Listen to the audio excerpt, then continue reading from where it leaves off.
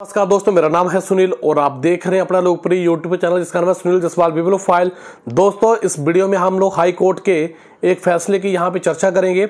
इस वीडियो को लास्ट तक देखिएगा, तभी आपको पूरा मामला समझ में आएगा। दोस्तों, बात करते हैं हिमाचल प्रदेश हाई कोर्ट की।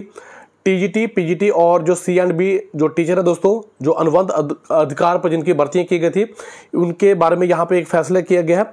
दोस्तों, इसमें अदालत ने कहा है कि जो टीचर अनुबंध आधार पर रखे गए थे। उनको प्रथम नियुक्ति से ही जैसे परमानेंट टीचर रखे जाते हैं उस तरह से इनको जो फाइनेंशियल सपोर्ट की जाए, उनको वित्तीय लाभ दिए जाए।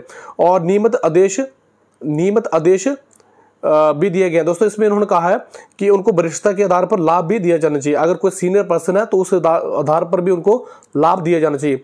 दोस्तों, यहाँ पे जो न्यायाधीश है, जिनका नाम है अजय मोहन गोयल उनकी एकल पीठ ने यह फैसला किया है। इसमें कहा गया है कि छह महीने के अंदर अंदर जो जांचिक करता थे दोस्तों, उनको वित्तीय लाभ दिए जाए। अगर वो जो लाभ है दोस्तों, अगर वो नहीं दिए जाते हैं तो इस पर सरकार पे भी छः फ़ीसदी ब्याज जो वो देना पड़ेगा और ये लाभ उन्हीं को मिलेगा जिन्होंने याचिका दायर की थी। अब बात करते हैं दोस्तों, हिमाचल प्रदेश में राजकीय संघ वर्ष 2017 में प्रशासनिक ट्रिब्यूनल में इस बाबत याचिका दायर की गई थी। ट्रिब्यूनल के बंद होने के बाद 2020 में यह मामला हाई कोर्ट में ट्रांसफ़र किया गया था। अब दोस्तों, ये मामला क्या था, इसके बारे में चर्चा करेंगे। लेकिन इसका जो लाभ है वो कितने पात्रों को मिलेगा दोस्तों? इसका लाभ बीस हज़ार जो दोस्तों टीचर है, उनको यहाँ पे मिलने की संभावना यहाँ पे दिखाई दे रही है। और हुआ क्या है दोस्तों? 2010 के बाद नियुक्ति हुए। दोस्तों, जो कॉन्ट्रैक्ट टीचर थे, इस फैसले का लाभ होगा। याचिका दोस्तों, जो दायर की गई थी, वो 2017 में दायर की गई थी। और ऐसे में दोस्तों, जो वित्तीय लाभ होंगे, इस अवधि के बाद ही मिलेंगे। वरिष्ठता और पेंशन का लाभ भी 2010 के बाद से ही मिलेगा। दोस्तों, यहाँ पे हुआ क्या है? यहाँ पे देख लेते हैं सबसे इंपॉर्टेंट चीज़। भर्ती में पदोन्नति नियमों में नहीं था, अनुबंध का उल्लेख। अब यहाँ पे बात चलती है दोस्तों 2008 की। 2008 में जो जिन जो सिलेक्शन का जो प्रोसेस था दोस्तों 2008 में, उसमें भर्ती एवं पदोन्नति जो आर पी रूल थे, उसमें अनुबंध नियुक्ति का कोई भी उल्लेख नहीं था। लेकिन जो उसमें नियुक्ति हुई थी दोस्तों, वो कॉन्ट्रैक्ट बेसिस पे हुई थी और कोर्ट को बताया गया था कि अनुबंध पर नियुक्तियाँ नहीं की जा सकती हैं। और दोस्तों, नियुक्तियाँ नियमित आधार पर होनी चाहिए थी। इस बाबत दोस्तों, जो केस था, वो दो में प्रशासनिक ट्रिब्यूनल में याचिका दायर करते हुए नियुक्ति प्रक्रिया को गलत बताया गया था।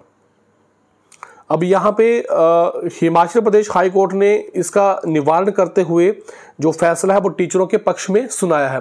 दोस्तों, जो अनुबंध आधार पर टीचर रखे गए थे, अब उनको लाभ मिलेगा और सरकार को छः महीने के अंदर अंदर इसका बेनिफिट उनको देना पड़ेगा। अगर वो बेनिफिट नहीं देते हैं तो उनको ब्याज भी चुकाना पड़ेगा।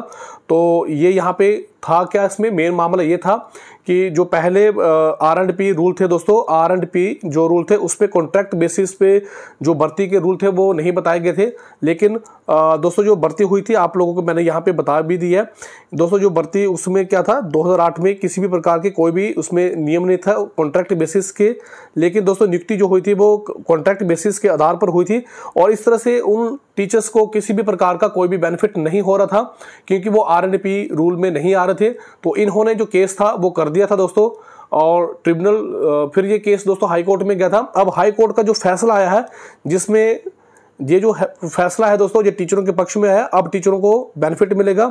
और दोस्तों ये बेनिफिट तब से मिलेगा जब याचिका दायर की गई थी। तो दोस्तों ये आज का वीडियो था। फिर भी अगर आपके मन में कोई प्रश्न है तो कमेंट बॉक्स में ज़रूर टाइप करें। दोस्तों, ये वीडियो आपको कैसा लगा, आप अपनी राय कमेंट बॉक्स में ज़रूर बताएँ। आप लोगों ने मुझे इतना समय दिया। आप सभी का बहुत बहुत धन्यवाद। थैंक यू वेरी मच दिल से।